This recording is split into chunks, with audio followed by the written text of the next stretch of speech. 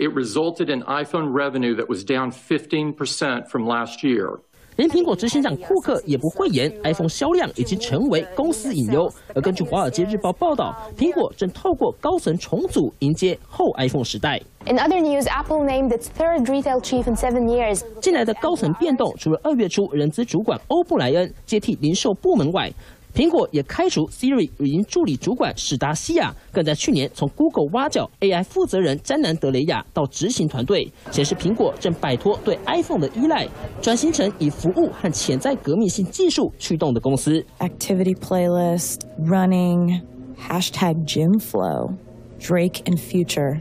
包括旗下的串流音乐订阅以及应用城市销售和行动支付等服务，将成为苹果未来发展主力。同时，将持续投入好莱坞节目等相关工作。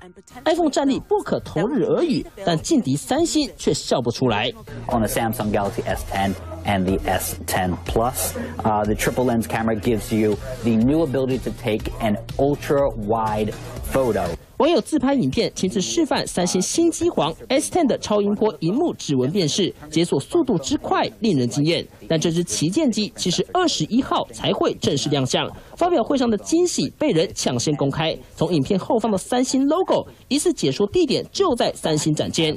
一旁工作人员却丝毫没有制止，显示产品的保密性出现漏洞。Basically, you can stick the back of your friend's phone to your phone if it's Qi charging. 在如今手机市场百家争鸣的时代，iPhone 虽然依旧贡献苹果三分之二的营收，但要回到过往的花样年华已经不可能。库克的多角化经营就是要确保苹果在科技业上立于不败之地。